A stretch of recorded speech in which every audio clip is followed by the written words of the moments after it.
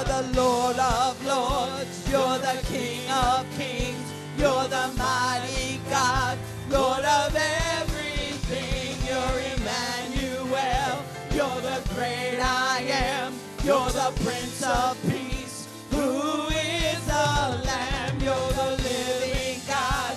You're my saving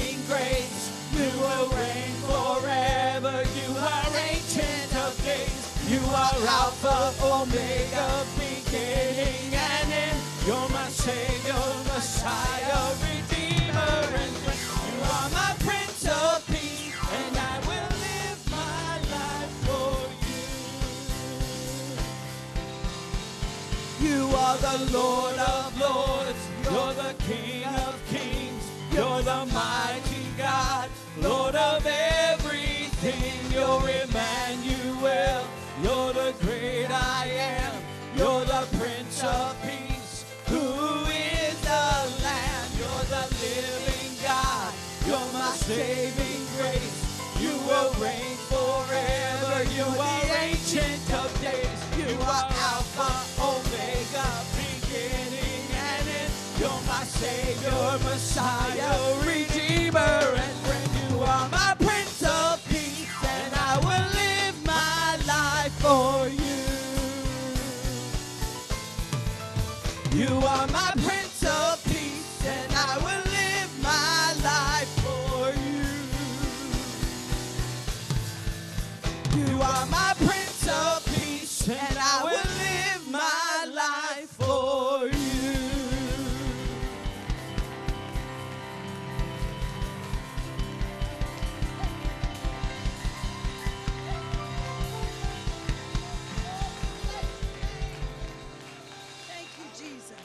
thank you and praise you, Lord.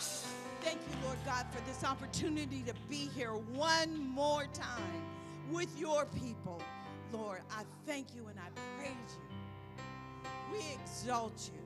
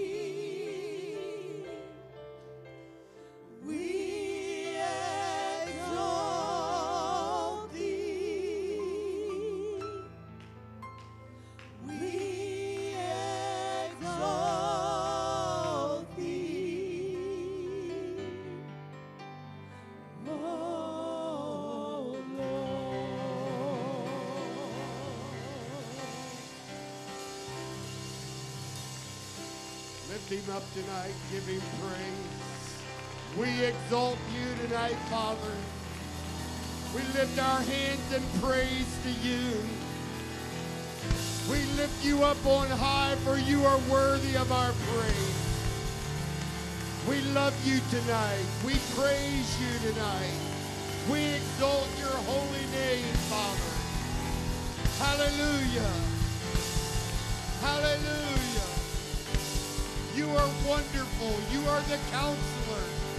You are the mighty God. We exalt you, Father. Hallelujah. Hallelujah. Why don't you clap your hands, make a joyful noise? He is worthy of our praise.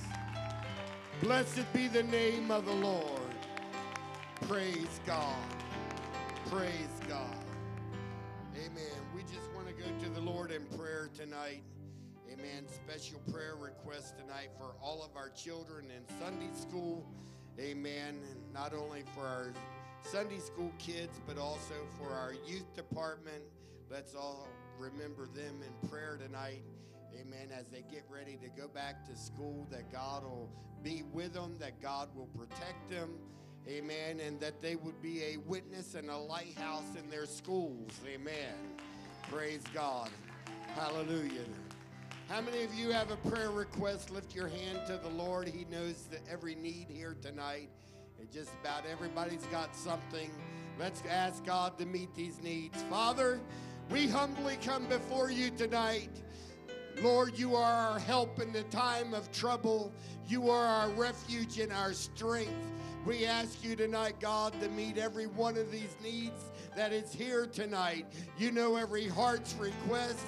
You know every you know every request that's been in this house tonight, God, whether it's physical or financial or spiritual or whatever the need may be. We ask you to take power and dominion and authority, Lord. We ask you tonight, God, to be with our children as they go back to school, that your angels would have charge round about them, that you would protect them as they go. Lord, that you would encamp around about them, that your angels hallelujah, protect them from all harm and protect them from all danger tonight. I pray, God, that you would use our children to be a witness and a lighthouse in their schools, God. Hallelujah. Open doors and give them opportunity to share the gospel, I pray. Help them to exalt you.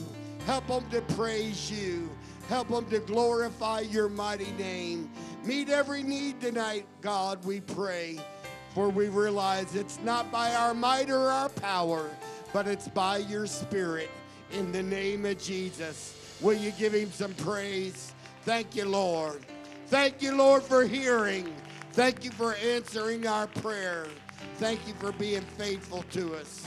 Hallelujah. Praise God. Praise God. Turn around and greet somebody tonight. Tell them you're glad to be in the house of the Lord. Amen.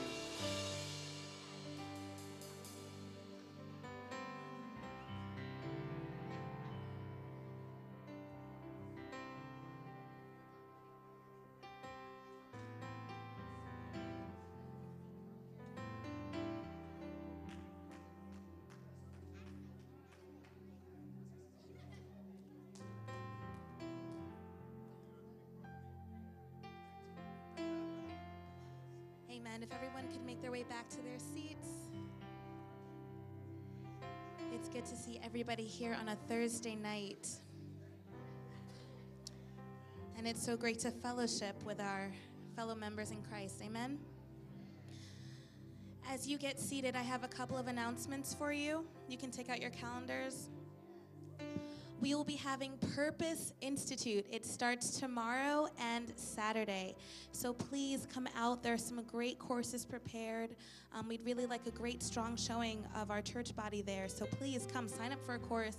It's still not too late and be a part of what God's doing in our church. There will be a special ladies' luncheon. This will be taking place on September 7th, run by our very own Sister Overton. Um, we are having missionary Smoke from Tanzania. She's going to come and minister to us ladies. So please come out, be a part of that. Lunch will be provided, um, and I know that God has something in store for that event. And then finally, on September 15th, save the date for All Nation Sunday.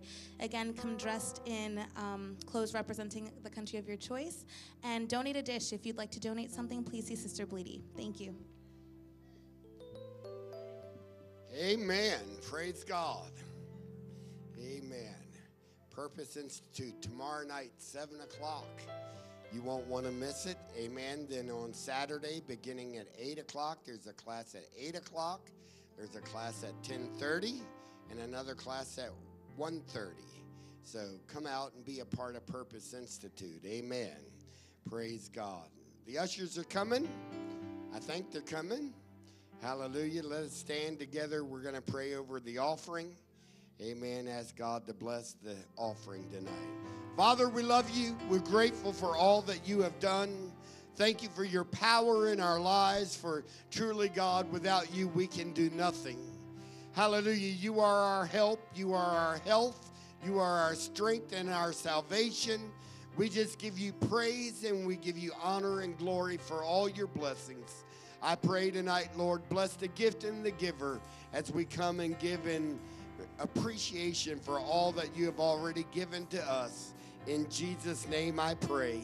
And everybody again say amen. Come and give to the Lord.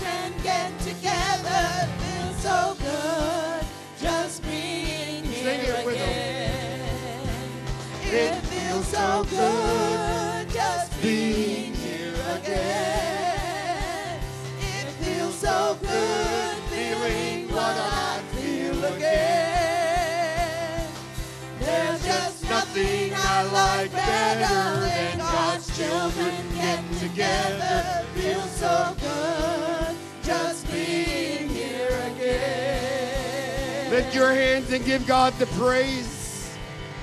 Feels good to be in your house, Lord. Feels good to feel your presence in our lives. There's nothing I like better than feeling the power and the presence of God. Can you say amen? Amen. And good to see all of you in the house of the Lord tonight. Praise God. And I'd like to give a special welcome to Brother Solomon. Glad to have him back with us. He used to be a, a member of uh, our church on 4th Street when we were in Laurel. Amen. And I'm glad he's found us here. Amen. God bless him and his family. Hope you'll go by and shake his hand and make him feel at home. Amen. Hallelujah. We are studying the book of Romans. So I invite you to turn to Romans chapter 6. Amen. And we're going to begin at verse number 9. Praise God. And as you're turning there, just quickly, I told you last time that we were here. We had to take a little break for vacation Bible school. Amen. But we, I kind of got carried away and uh, didn't quite cover as much as what I had hoped to. Amen. But the book of Romans, chapter 6, is divided into two categories. verse 1 through 14 addresses us being dead to sin and alive to God. Dead to sin and alive to God. Aren't you glad you're dead to sin? And then verses 15 through 23 covers being free from sin and becoming a slave of righteousness. Amen. I serve him because I want to, not because I have to. Aren't you glad that you're a servant of righteousness tonight? Amen. Praise God. So we're going to begin with verse number 8, Romans 6 and 8. He says, Now if we be dead with Christ, we believe that we shall also live with him. Can you say, Praise the Lord? You can be seated in Jesus' name.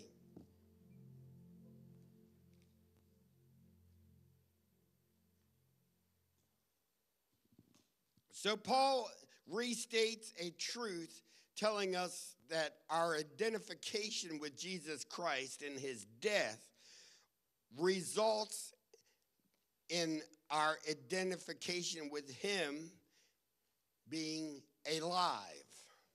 Amen.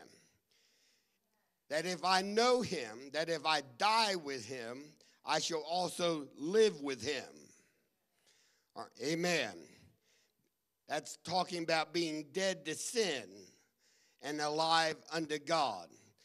Galatians chapter 2 and verse 20, the Bible tells us, I am crucified with Christ, nevertheless I live, yet not I, but Christ liveth in me.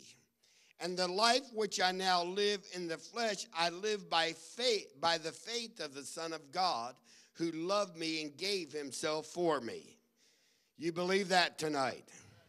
I'm crucified with Christ. And if I'm crucified with Christ, I'm dead to sin. Hallelujah. But Christ liveth in me. So just as Christ was raised from the dead, we become alive unto Christ. Can somebody say, Praise the Lord?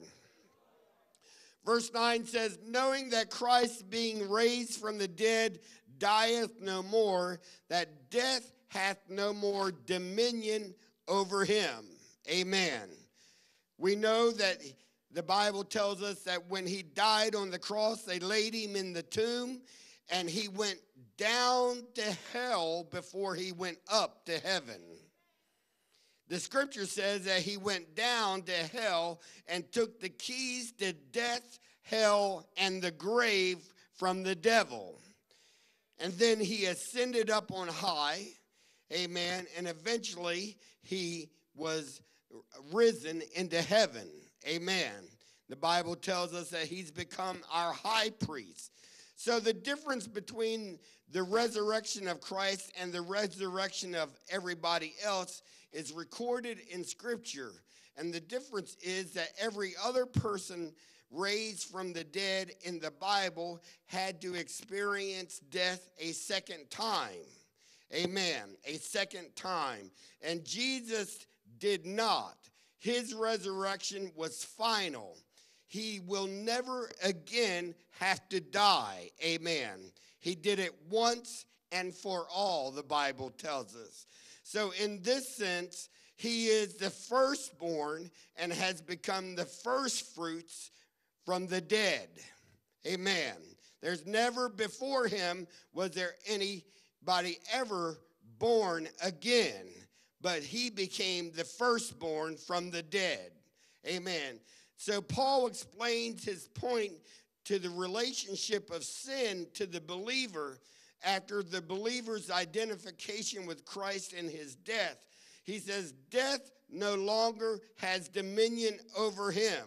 So when we identify with Christ in his death, death no longer has dominion over us. That does not mean that we won't die. Amen? Because the Bible is clear that it's appointed unto man to die. Amen. But death has no more dominion over us in the fact that just as death has no more power over Jesus Christ, So the sin nature no longer has power over the believer because we are dead to sin. So sin has no more power over you. It cannot control you any longer if you're dead to sin. Somebody ought to say, Praise the Lord. Praise God. Amen. So when I die to my sins, amen. When I'm crucified with Christ, I die. Amen. But just as Jesus was raised from the dead, I shall live for eternity. So I'm made alive by, by the Lord Jesus Christ. Amen. In other words, if I don't die to sin, sin always has power over me. But now that I'm dead to sin, sin no longer has power over me. The devil cannot make you sin. The demons cannot make you sin. Your neighbor can't make you sin. Nobody can make you sin, but you have to allow sin to reign. So if you belong to the Lord, you've got power now over sin. Amen. Before Jesus Christ came into our lives, we did not have power over, this, over sin. But now that Christ reigns in us, we now have power. He said, Ye shall receive power after the Holy Ghost has come upon you. Christ in us, the hope of glory. I've got power over sin because of Jesus Christ. So I do not have to sin any longer. You know, people say, well, the devil made me do it. Well, if you're a Christian, the devil can't make you do it. Amen. He has no power over you. Now, that is not to say that you are incapable of sinning. Because Paul clearly tells us, to whomever we yield our members to, we become the servant thereof. If I yield myself to the devil or unrighteousness, I become the servant of sin. But if I yield myself as a servant of righteousness, I become the servant of God and we have enough power in us, the gift of the Holy Ghost, to not to yield to temptation, not to yield to the uh, things of this world, but we have power and we have dominion and we have authority over sinfulness. So I don't have to sin a little bit every day. And when we do things that are contrary to the Word of God, we then become servants of sin. Hello. If I get angry and I start cursing, it isn't that sin had more power over me than God had, but I yielded my flesh to that sinful nature. Amen. But if I had have yielded to God, I wouldn't have cursed. I would have bit my tongue. Amen. So sin has no more power over us. Death has no more dominion over us. Just as Jesus Christ had power over death, hell, and the grave, he has power over our sin nature. Amen. So sin does not control us any longer. Can, you say, Praise the Lord? Verse 10 says, For in that he died, he died unto sin once, but in that he liveth, he liveth unto God. So Jesus, of course, had no sin nature. I'll say that again. Jesus had no sin nature. He was 100% God and he was also 100% man or flesh. It was God and man reconciling the world unto himself. Amen. And so his he had no sin nature because he was already holy. Hallelujah. He is the Almighty. He is the great I am. He is the Jehovah Jireh. He is the El Shaddai.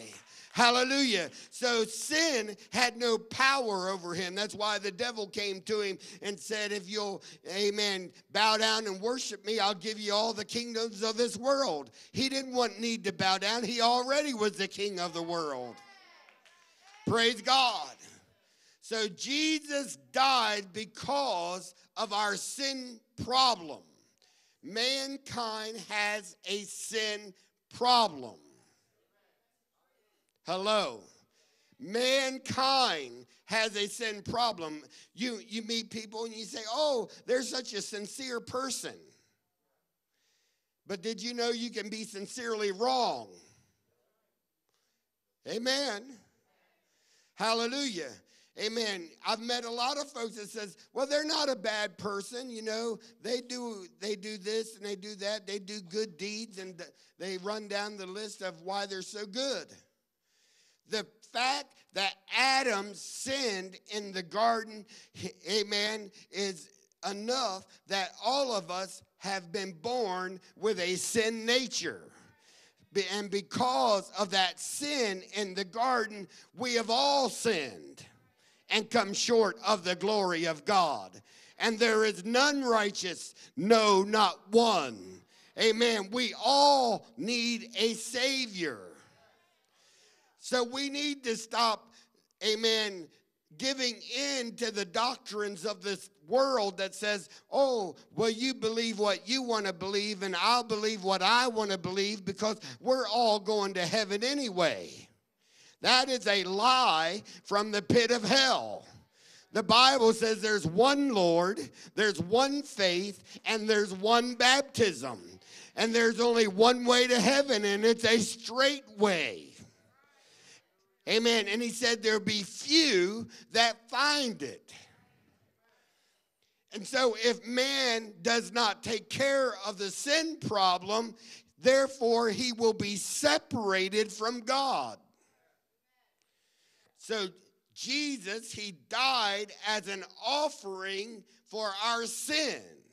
The whole reason he came to earth was to go to the cross and pay the penalty for your sin and to pay the penalty for my sin that we might have life tonight and that we might have it abundantly. So, those who identify with Jesus Christ and his death in reference to sin enjoy freedom. Hello if I identify with him in his death, I enjoy freedom from sin's control over my body. Hallelujah. And Jesus enjoys freedom from death. And the death of Jesus to sin was once and for all, the Bible says. So the reference then to Christ's resurrection by the glory of the Father has to do with the fact that the resurrection was affected by the power of God. The flesh was raised by the power of God. I don't I don't have a long time. I'm going to try to hurry and finish this chapter tonight, but as the when Jesus died and they laid him in the tomb, the Bible says he went down Hello. And the body, the spirit went down to, to hell.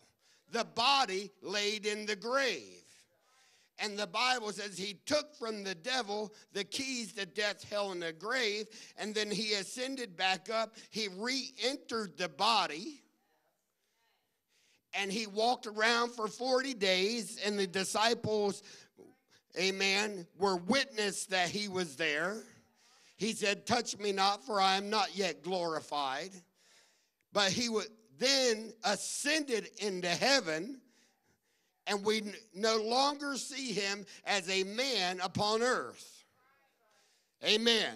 And it says that that same spirit that quickened Jesus' mortal body is one day going to quicken our mortal body. Whoa, hallelujah. That same spirit, what same spirit? The spirit of Jesus Christ, or the Holy Spirit, or the Holy Ghost. Woo. Hallelujah. Do you think it's important to have the gift of the Holy Ghost? Because if you don't have the gift of the Holy Ghost, you do not have resurrecting power. So when they lay you in the grave, you will stay in the grave until Jesus calls you to the judgment. But if you're a child of God and they lay you in the grave, when Jesus comes after the church and the trumpet sounds, they that are dead in Christ, they that are dead in Christ, Jesus said, I'm going to quicken the mortal body. And we're going to ascend and meet him in the air. And so shall we ever be with the Lord. Sin has no more power. Sin and death has no more dominion. The devil can't stop it. Hallelujah. For whom God has made free is free indeed. Give him some praise. Give him some praise.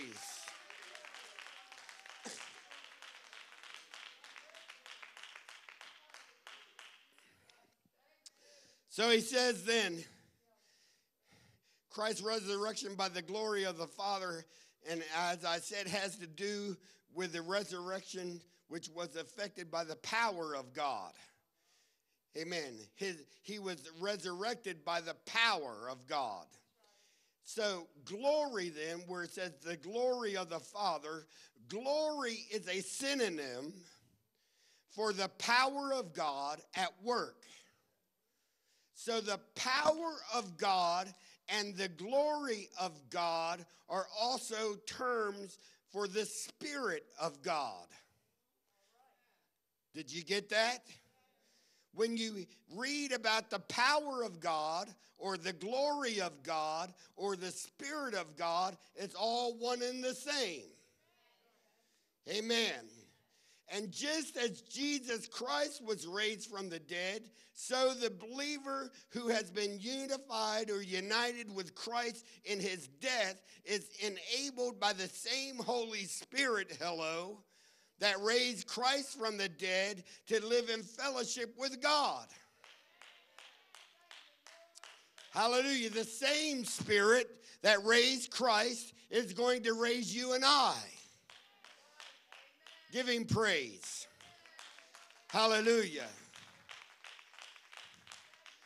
Romans 6 and 11, he says, Likewise, reckon ye also yourselves to be dead, indeed unto sin, but alive unto God through Jesus Christ our Lord.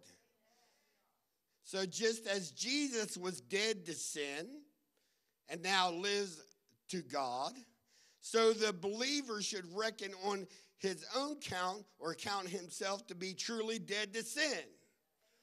We should not try to sin any longer. We should count ourselves dead to sin.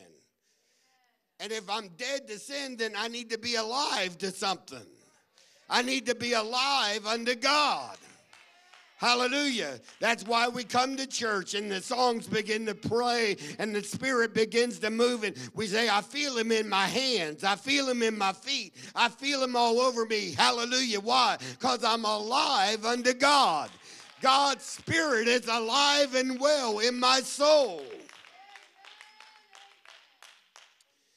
So the point then that if I'm alive to God, this is not some manner matter of mental assent.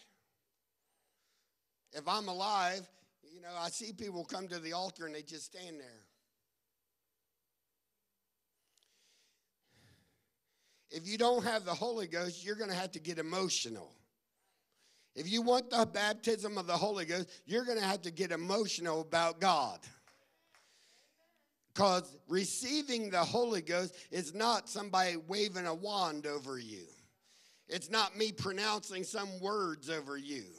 But the Bible says that all they that received the Holy Ghost, like they did on the day of Pentecost, they spoke in tongues as the Spirit gave them utterance. The Bible says they got in one mind, they got in one accord in the upper room on the day of Pentecost. They began to worship Him, they begin to pray, they begin to get emotional about God. Hallelujah. And as they began to worship Him and as they begin to praise Him, the Holy Holy Ghost came. Amen. And it said it filled all the house where they were sitting appeared unto them cloven tongues like as a fire, and it sat upon each of them, and they were all, they were all, they were all filled with the Holy Ghost. Praise God. So receiving the Holy Ghost is not some kind of mental assent, but rather it's an identification with Jesus Christ in his death, burial, and resurrection. And since it is a fact that the believer is free from the ruling power of sin, he should agree with the truth and set himself in agreement with it. If Christ be in you, we should desire to be more like Christ.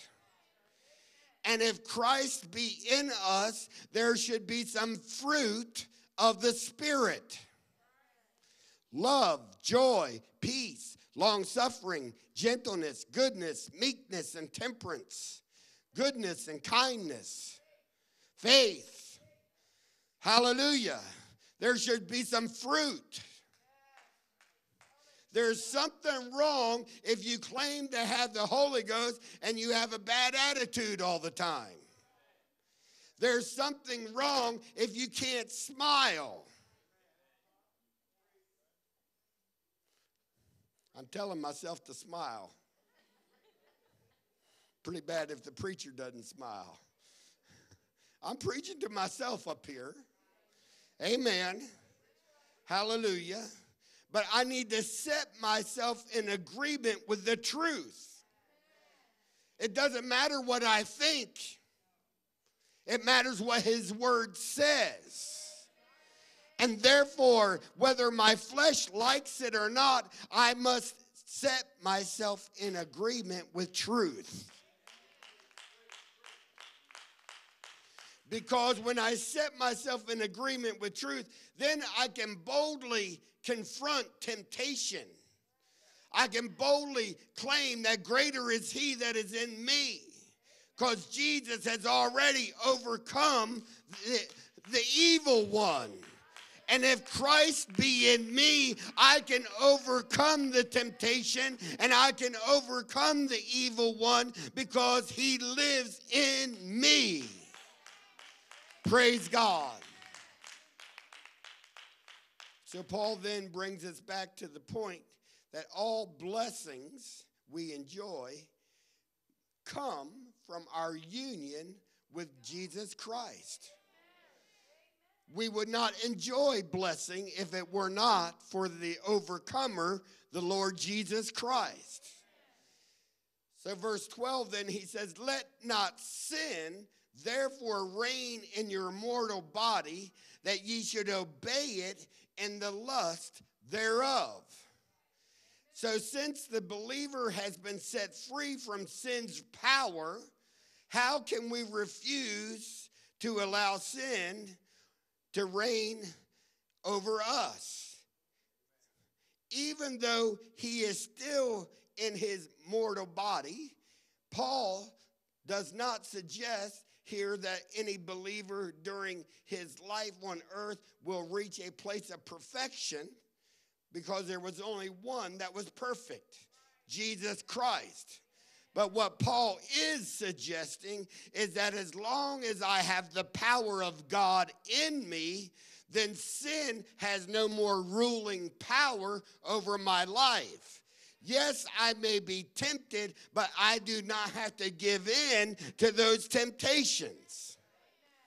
Amen. And so, what he does intend to say is that by the virtue of the believer's union with Christ, the believer can refuse to let sin rule over him like a king. That's not to say we'll never make a mistake, but if we do, we've got an advocate with the Father. That if we confess our sins, He is faithful and just to forgive us of our sin. So, the whole point Paul is making is you do not have to become, amen, under the influence or dominant to the rule of Satan. The devil has no more power over you. The devil has no more power over you. So if you are a born again believer, you should never say, The devil made me do it. Because that is a lie from the pit of hell. Because the devil cannot make you do it. You've been set free. Hallelujah. You've been set free. So he uses the word lust, that ye should obey it in the lust thereof. So that word lust means strong desire. And the word can be used either in a negative or a positive way. You can have a strong desire to the good, or you can have a strong desire to the bad. The lust of sin refers to sinful passions or desire. Amen. So sin relies upon creating within a person a strong desire for what is forbidden. When Eve looked at the fruit, she didn't immediately partake, but she looked at it and she lusted after it and she contemplated about it and she thought about it a while until it got the best of her and she said, I got to see what I'm missing. And all sin operates just like that. When something is dangled before you long enough, the devil will begin to suggest, oh, there's nothing wrong with that. And you and I will look at it and we'll think about it. And if we don't realize it is a temptation that the devil is setting up, amen, and we don't recognize whose voice it is that's doing the talking, amen, we will look at it and we will begin to lust after it until we end up being a partaker of it. And then when we partake of what is forbidden, then we become separated from a holy God because sin separates us from God. No matter what kind of sin it is. Amen. And there's just a something in our flesh that wants what we are forbidden to have. Amen. So when the believer understands that wrong desires are not his desires, but they belong to the devil or to sin, he will be helped in resisting the temptation. The, de- the Bible says in the book of James, resist the devil and he will flee. But if you open up the door to your house and invite him to come in and sit down at your kitchen table, he's going to come in and he's going to spoil your house. Amen. And so, you've got enough Holy Ghost to resist the sin. And when you resist the temptation and you recognize that it is a temptation, sin's attempt to bring you under its control will no longer have power or dominion or authority over you, but you will have more power with God as you resist the temptation. We are all tempted. Jesus himself was tempted. But there's got to be enough Holy Ghost in us to resist the temptation and say, No, devil, you're not coming into my house. You're not spoiling my house. This house belongs, as Joshua said, as for me and my house, I, we're going to serve the Lord.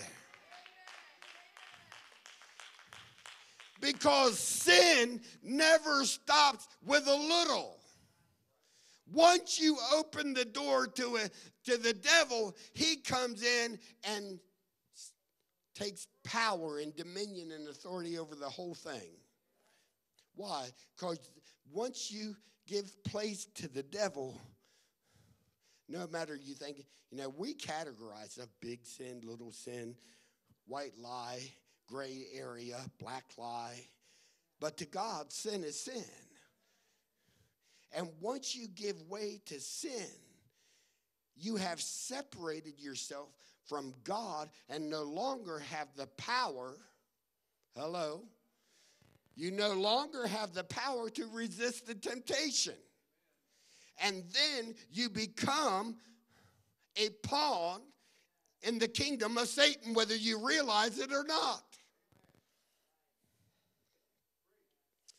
Praise God. That's why it's important to have a prayer life. That's why it's important to die every day. Father, forgive me of my sins. Because he said, if I confess them, that he's faithful and just to forgive them. Romans 6 13. Neither yield ye your members as instruments of unrighteousness unto sin, but yield yourselves unto God as those that are alive from the dead, and your members as instruments of righteousness unto God. Hallelujah. Amen. So Paul then admonishes us, the Romans, not to lend their members to be used for sinful purposes. So, this, of course, includes one's physical body, but it also includes one's mind, will, and emotions. I'll say that again. It also includes one's mind, will, and emotions. We are to give ourselves to Jesus Christ, or we are to give our spirit, our soul, and our body completely to the Lord. When I got the Holy Ghost, and I believe everybody had to make some kind of declaration like this, I said, God, I don't care. I give you all my heart. I give you all my mind. I give you all my soul. I give you all my strength. Everything that I am, I give it to you, God. I didn't say you can have my mind, but not my soul. I didn't bargain with God. Now, some people like to bargain with God, but God doesn't bargain. You either give him all of your heart or you give him none of it. Amen. Praise God. And if you give him all your heart, sin has no more power over you. Romans 6 14, for sin shall not have dominion over you, for ye are not under the law, but under grace. So the believer's union with Christ results in the destruction of sin's power and dominion. God does away with the power of sin over the believer. So the issue is whether sin can rule the believer. And the answer is sin cannot rule the believer if you're really a believer.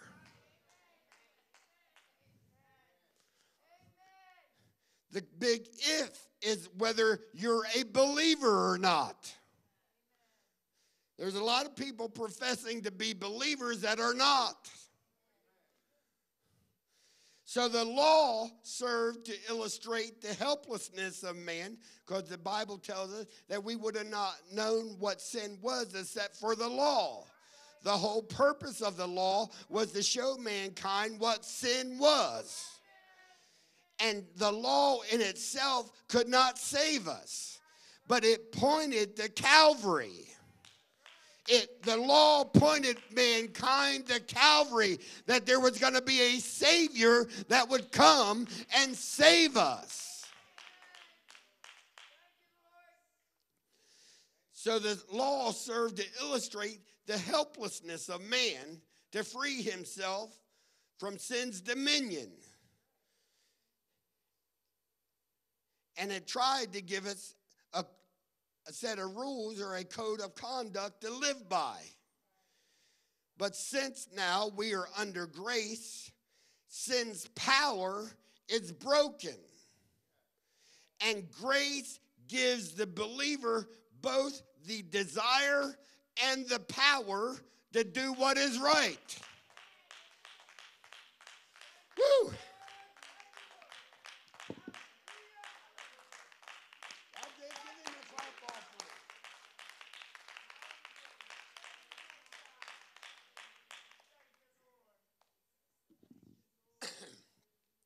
I want to point out for all those that always say, well, bless God, we're not under the law. We're under grace. So throw the Old Testament away because you're not under the law no more. Yeah, I'm under grace. Praise God. But if you'll read in Galatians, the Bible tells us, Paul said, Shall we continue in sin that grace may abound? He said, God forbid. Amen. God forbid that you would want to sin because sin separates us from God. So the Lord didn't just throw away the Old Testament, but He said, Amen. In the New Testament, He said He would write His law in our hearts. I've got the law of God in my heart. If I've got the Holy Ghost, I've got the law of God already in my heart.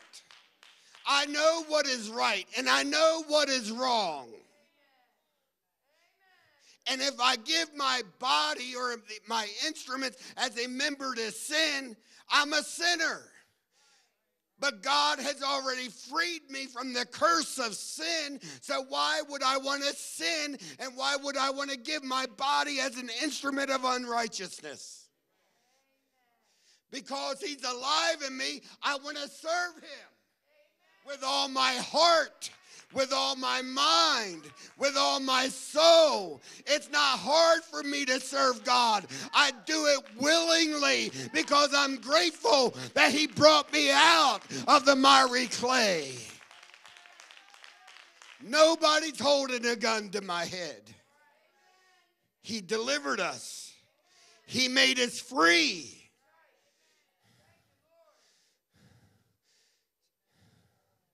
So sin doesn't have dominion over us any longer. Where am I at? 14 or 15? Okay, 14, I think.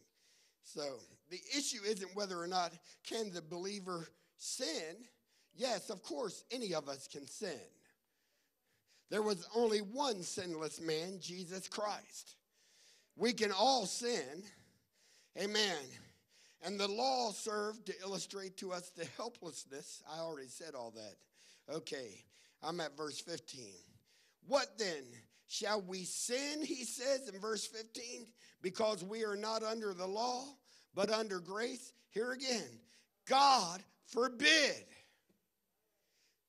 Because I'm not under law, I've got a license to go live however I want to live.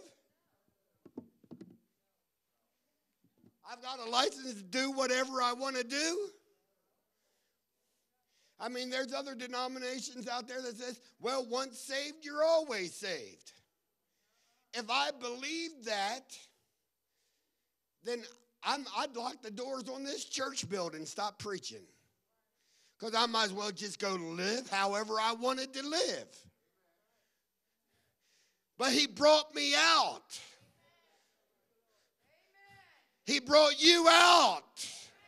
He filled us with the Holy Ghost. We've been set free. We've been set free from the dominion of sin.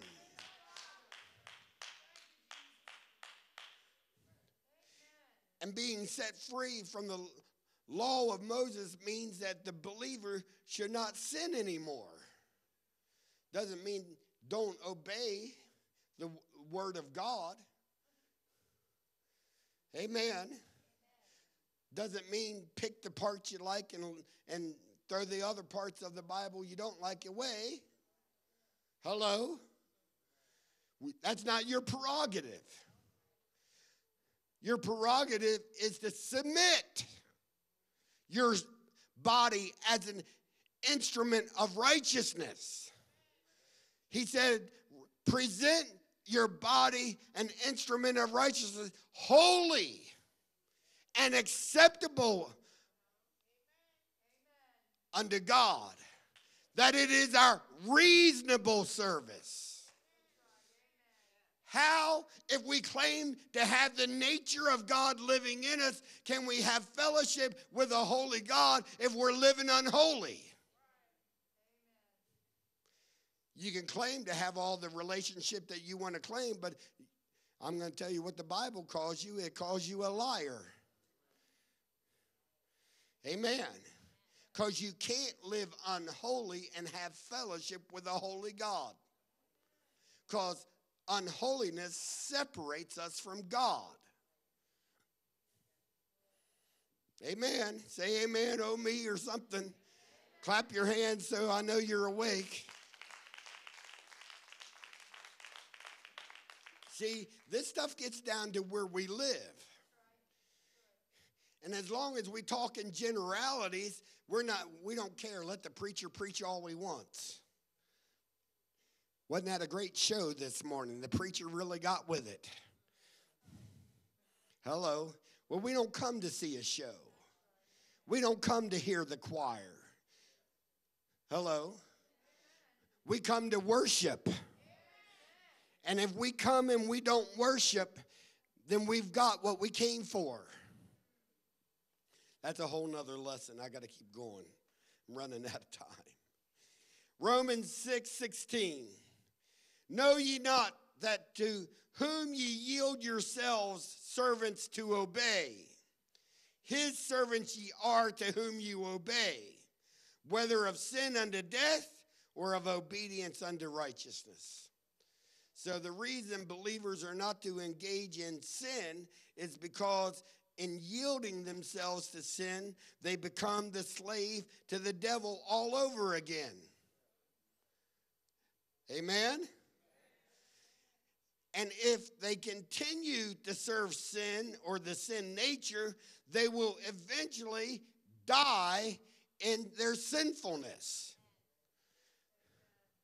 Amen or they will die separated from God because they serve sin and they did not serve the holy and the righteous God. So, if on the other hand, if you yield yourselves or ourselves to obey the leading of the Holy Ghost or the Holy Spirit, then we are going to do what is right, and therefore we become slaves of right living. I don't mind telling you, I'm a slave to the Lord Jesus Christ. I do not mind telling you, I willfully give myself to be a slave to righteousness. Nobody is making me do it. I'm doing it willfully with all my heart, with all my mind, and with all my soul and strength. Praise God. Romans 6 17. But God be thanked that ye were servants of sin, but ye have obeyed from the heart that form of doctrine which was delivered to you. You have obeyed from the heart. Nobody made you do it. Will stand in this pulpit and I will preach truth and I will preach righteousness. Righteousness, I pray the rest of my life by the help of God. But I can't change you one iota. I can't make you do anything against your will. All I can do is preach the word of God. And when I preach the word of God, it's up to each of you to decide what you're going to do with the word of God. Because when I stand before God, I'm going to say, Father, I preached the word to the people that you sat in the congregation. And I pray that I can do it, hallelujah, joyfully. Praise God. Amen. The Bible says we are saved by the foolishness of preaching. what we do on Thursdays and Sundays is not just an exercise or a performance or a ritual or a routine. But what we do, the Bible says, God has chosen by the foolishness of preaching to save them that are lost.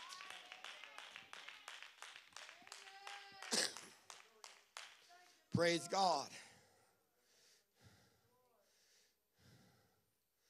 Praise God.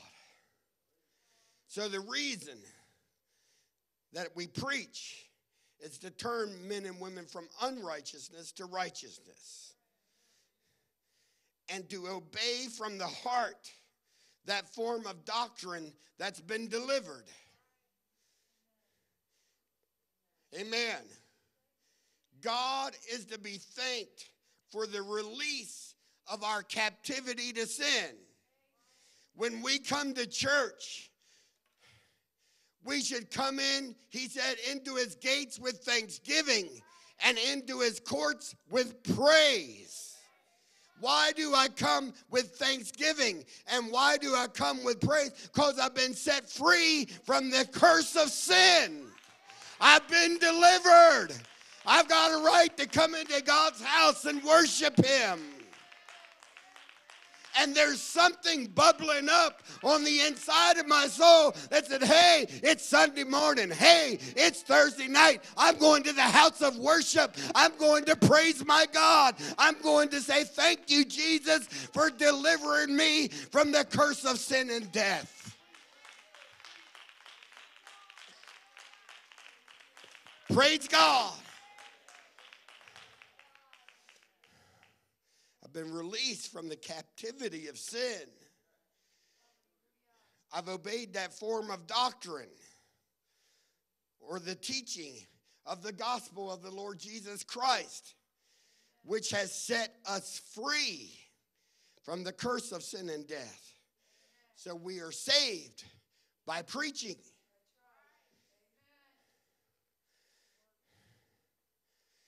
Verse 18, being then made free from sin, ye became the servants of righteousness. So even though we struggle with temptations, and even though we're imperfect, and there's different tensions that happen in our life, we can rest assured that because Jesus Christ, we have been made free and we have been set free from the dominion of sin. We have been made free and we have been set free by the dominion of sin. Hallelujah. So the temptation can't overtake us. Amen. And the imperfections can't overwhelm us. And the tensions cannot get the best of us because I've been made free.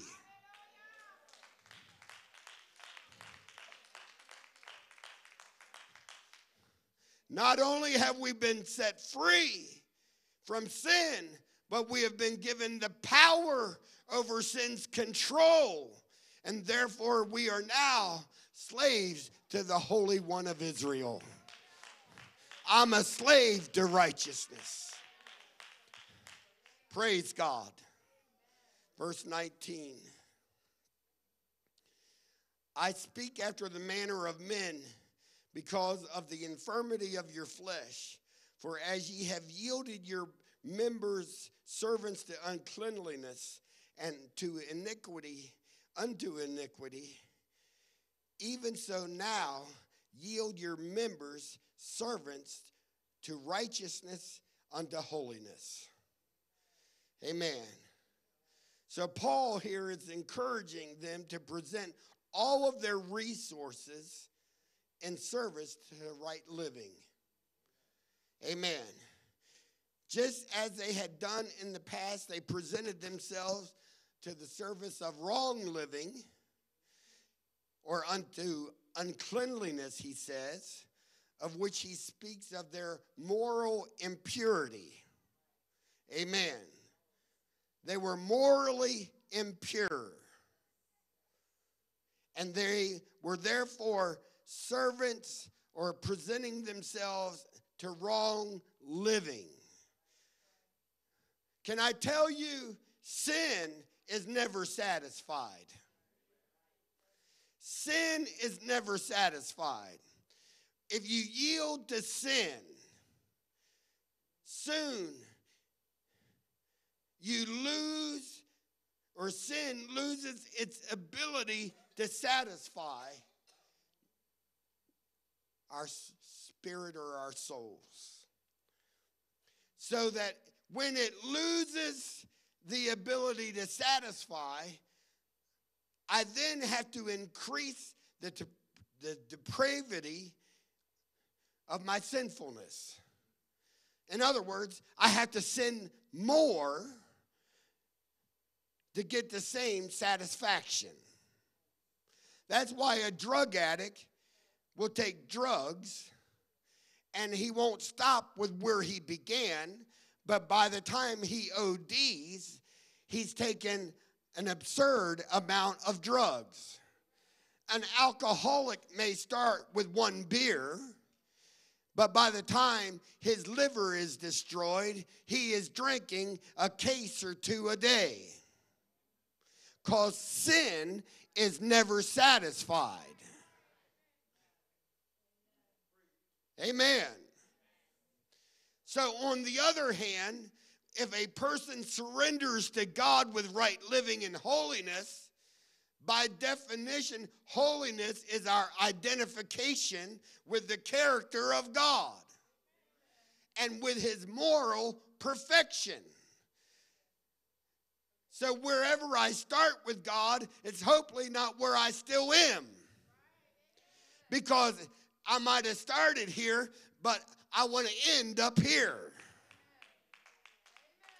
line upon line and precept upon precept. Hallelujah. I want to climb the proverbial ladder and get closer to God. So if I've been serving God for 40 years, I should have some fruit hanging on my tree. If your tree is still barren after 40 years, I fear for your life. I'm being honest tonight. I'm being serious tonight. Because Jesus walked by the fig tree and it didn't have any fruit on it, and he said, Cut it down and cast it into the fire. As a type, if you will, of those that are depraved being cast into eternal damnation. So if I do not have fruit hanging off of my spiritual tree, what is the master going to say? Why did I encumber the ground for so long and bore, did not bear any fruit?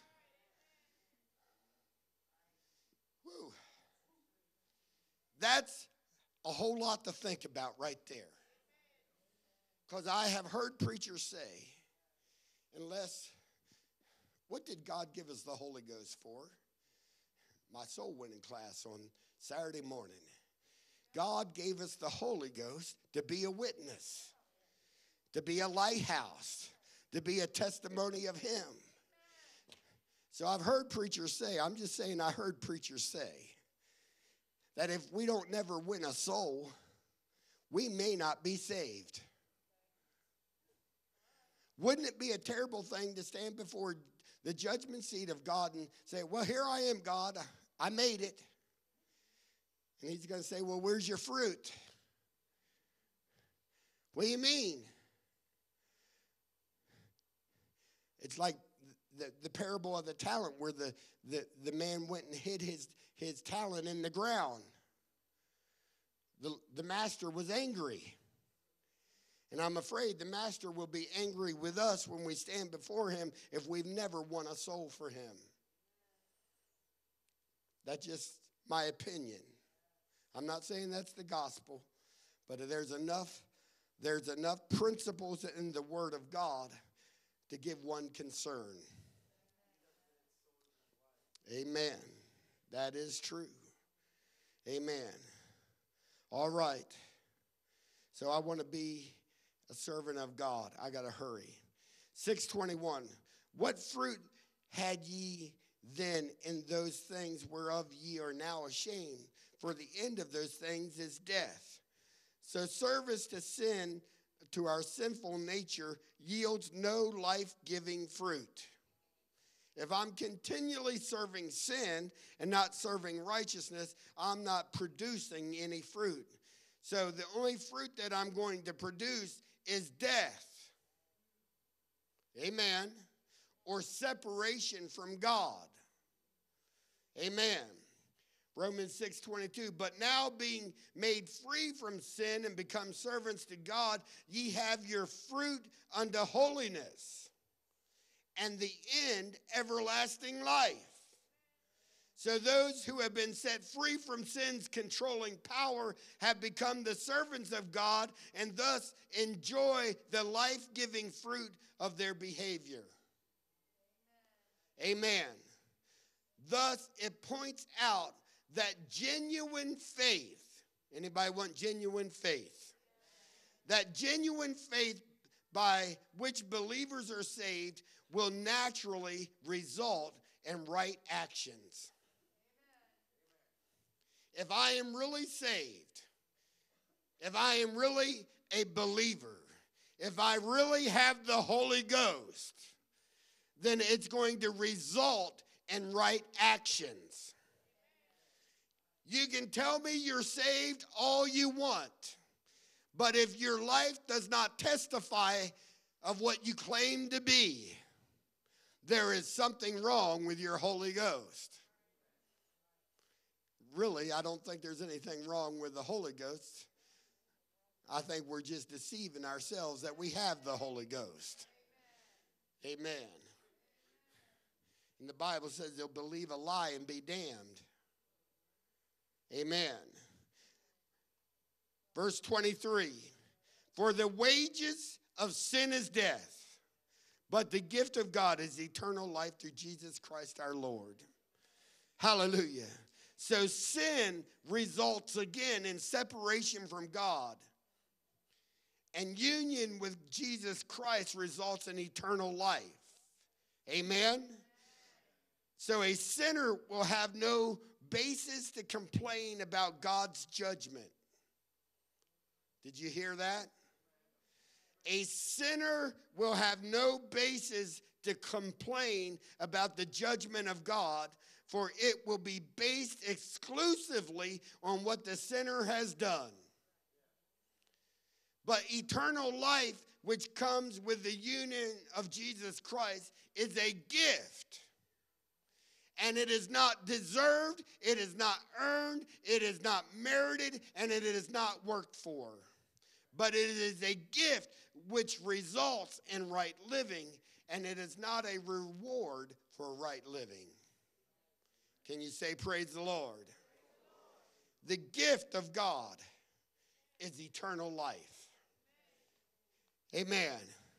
I want to live with Him. How about you? I thank Him for the Holy Ghost tonight. I thank Him that I've got power over sin, that sin does not have power over us any longer, but we are the bride of Christ. Hallelujah. We have been made free, we have been set free from death and from hell and the grave and the power of the and dominion of the devil. I'm a child of God.